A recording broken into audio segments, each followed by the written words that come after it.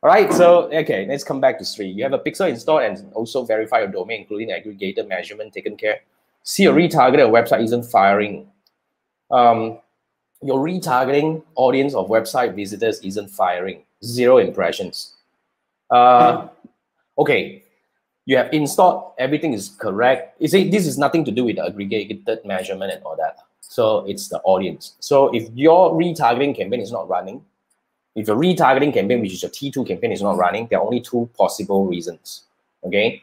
First is your audience is too small, meaning that you're targeting too niche an audience, meaning that if you are, let's say, for example, if you have a one minute video, you're trying to retarget people who watch up to 75%, then in my opinion, it's a long shot because there'll be very, very, very small amount of people actually uh, watch up to 75%.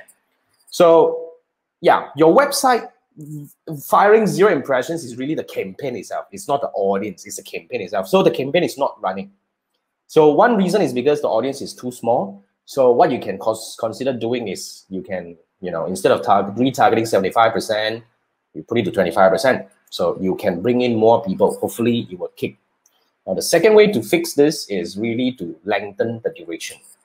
So let's say if you're retargeting for three days, for example, people who watch up to 75% for three days, now, that is really a bit crazy. So let's say if three days, every three days, you only get 10 people, then of course it won't run. Um, so you either reduce it to 25% or you lengthen it to maybe like, what, what was that? Like, um, 20, like seven days?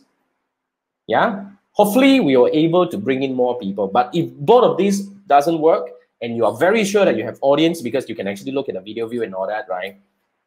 Then you push the bid cap. So that's the last thing. Usually should solve the problem.